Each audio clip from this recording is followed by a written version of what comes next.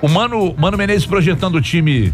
E aí, eu até imaginei que pudesse ainda seguir naquele processo da, da do, do, rodízio, do rodízio, de girar esse elenco aí, que alguém pudesse ser é, poupado. É... Ah, mas eu acredito que algum, algum vai ficar fora. Mas você imagina quem possa ser, que você tem o controle dos jogos aí. Sim. Pelo, pelo, pelo número de jogos, quem seria poupado? Os que estão com maior sequência agora, que há muito tempo não são poupados, acho que o Marquinhos Gabriel já vem numa sequência grande. Então ele deve ser um dos poupados. Pode ser. E aí joga o Pedro Rocha. Pode ser. Uma alternativa. Seria, que seria pior pro Flamengo, mas enfim. Deixa eu dar uma olhada aqui, quer ver nas últimas escalações? Robinho foi poupado agora, né? É, o Robinho foi poupado agora, o Romero ficou fora. Acho que o Henrique também um, vem numa Fred sequência faz um grande. tempo que é, o Fred, direto. É, o Fred, o Fred tá, se tá eu não maratona. me engano, são 15 ou 16 jogos seguidos já. Mas o Fred, ele se poupa, né? E o Fred quase sempre é substituído. É, e ele não é aquele cara que tem um desgaste. Não, mais grande. parado, então. Corre, é. corre. Com inteligência. Quem, quem, corre é a bola, né? Henrique. É, o Marquinhos Gabriel, um, dois, três, quatro. Quatro jogos consecutivos. É, o Henrique, um, dois, três, quatro. Também quatro jogos consecutivos. É isso, ninguém tem jogado muito mais que quatro, cinco jogos seguidos, não, né? Pode ser que rode aí um pouquinho, mano, na estreia do Campeonato Brasileiro. Talvez uma mudança, por exemplo, na zaga. Os dois zagueiros vêm jogando todas. É, a qual lateral é esquerda qual, qual sequência que tá maior, do Dedé ou do Léo? Vamos ver aqui. Porque aí. Aí você entra ah, com o Murilo ou Fabrício Bruno? Bem que eu não acredito que ele. Ah, não. Eu acho que vai, vão os dois. não mesmo uma sequência. Eu acho que o Flamengo vai jogar com o time todo reserva. Principalmente depois da derrota de ontem. Não, mas aí o jogo é o jogo do Penharol só deu... na outra semana ainda, é. né?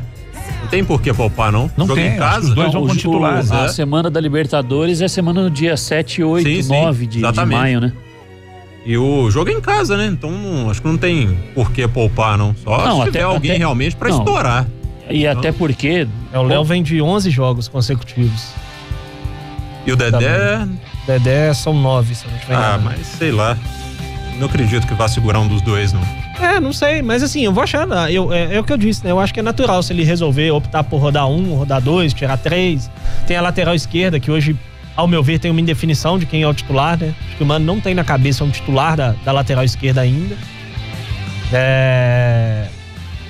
Dodô jogou a final do Campeonato Mineiro, Dodô vinha jogando os jogos da Libertadores. Então, a gente não sabe muito bem quem é o lateral. O lateral.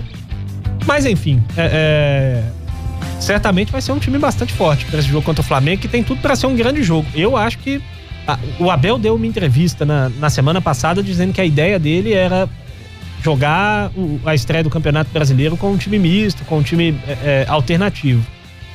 E eu não vou ficar surpreso se acontecer, não. Acho é, que um... tende a, a guardar energia aí dos titulares para os jogos da Libertadores. Principal jogo da primeira rodada. Sim, sem dúvida. Certamente. Nós estamos diante de, de dois times que é, brigarão por tudo que disputarão. É, quer dizer, brigarão por tudo que disputaram na temporada. São candidatos. O Flamengo são candidatos. O Flamengo está numa situação, eu não vou dizer que está delicada demais, não, mas. Delicado. Ele precisa. Ele precisa ganhar do Penharol fora. Quer dizer, um empate dá, né? Empate dá. É, um empate dá. O que eu acho que vai ser muito complicado para ele. É, principalmente porque o Penharol vem de derrota. E o Flamengo não vem jogando bem, né? O Flamengo joga mal. Falei aqui a respeito do trabalho não, do Abel. O né? Abel não sabe o que que faz. O Abel não sabe o que que faz. Mas só é surpresa para quem não sabe o que, tanta, que o Abel anda fazendo tem tanta, anos. Exatamente. E as pessoas colocam o Abel hoje num, num, num, patamar que eu acho que ele já desceu li, dele há um tempo. É, eu, eu, li um texto do, do Mauro César, da ESPN, no, no uma coluna dele a respeito do jogo do Flamengo de ontem. O negócio é que o Abel é um cara muito legal, né? Tem muita gente que pega leve nas críticas do Abel, porque o Abel é um cara legal. Só, isso aconteceu muito tempo com o Levir Coupe, aqui em Belo Horizonte. Levir era um cara bacana, todo mundo olhava, o Levir era um bonachão, gente boa, divertido, ia pra coletiva, todo mundo ria. É, e, e eu acho que isso por muito tempo, algumas críticas foram evitadas por ele ser legal. E acho que o Abel tá passando por um processo muito parecido. Porque o Abel, além de ser um cara legal pra caramba, ainda teve aquela questão da, da tragédia familiar dele no ano passado, que eu acho que também fez todo mundo relevar muitas coisas relacionadas ao trabalho dele no Fluminense, por exemplo, que ao meu ver foi bem ruim. É, então, alguns aspectos assim fazem essa, essa crítica diminuir.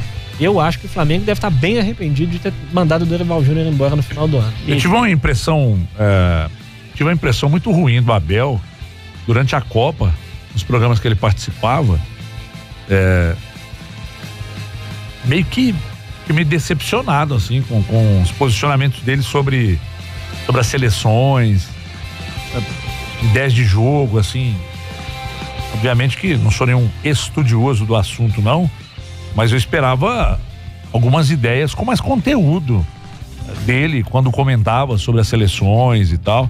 Eu achei bem raso nas análises, assim, respeito quem pensa diferente, mas causou um certo, uma certa surpresa e negativa durante a Copa eh, nos programas em que ele participou. Enfim,